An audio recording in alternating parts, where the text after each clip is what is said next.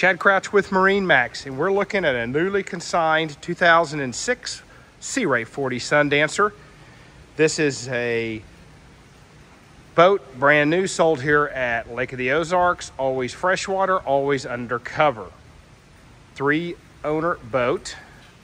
This particular boat does have lots of upgrades, and I'm probably, without a doubt, one of the cleanest 40 Sundancers on the market. This boat has the 8.1 liter Horizons, 370 horsepower apiece, 400 hours on the mains with 460 hours on the 9 kilowatt Kohler generator. This particular boat, again, many, many upgrades. This one has cockpit air.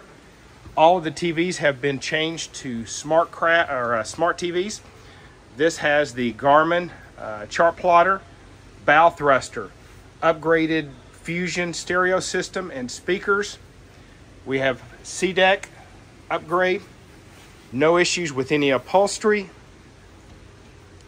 Cockpit refrigerator. As we go down into the cabin,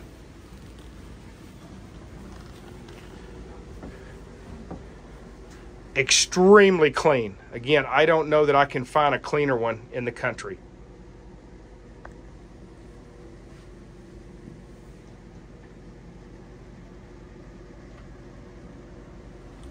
Everything is operational on the boat.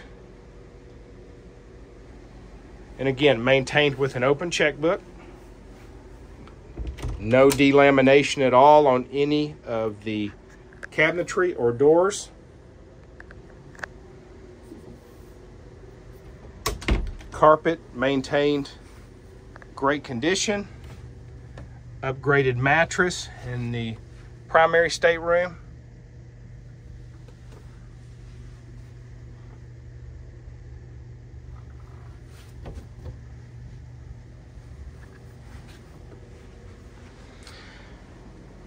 More pictures, you can go to marinemax.com. I've got Bill's pictures. You can also look at this particular boat, make an appointment to see it at marinemax.com or call me 573-434-9558. Please come take a look at the cleanest 40 in the country. See ya.